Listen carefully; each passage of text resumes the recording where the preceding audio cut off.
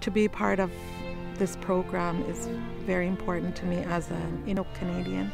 This land has provided for my ancestors for many years and it still provides for me, so it means the world to me, this, this land of ours, Nunavut. People inspire me to sing.